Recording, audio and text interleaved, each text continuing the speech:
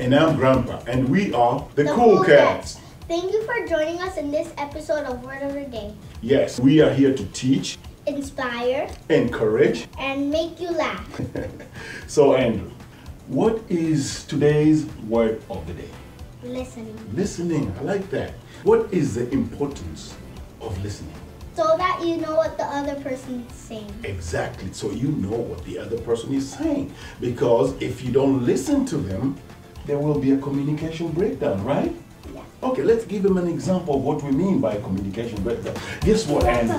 sir. I went over there to 7-Eleven and all that there. There was this guy. I was like, what? What are you doing over there? I'm like, dude, I'm here. I'm in line. Why are you cutting me? What So, see, Andrew, could you understand what I was saying? No. Did you understand what I was saying? Hmm, no, I didn't. And there you go. That is a very good example of not listening to each other. Do you have an example that you can give us about listening? Yes. For example, if your dad's telling you to to do something and you're not listening to him, What will happen? you will get in trouble. And is trouble a good thing? No. So listening is a skill that every child needs to succeed in life. That is our show today. It was all about listening.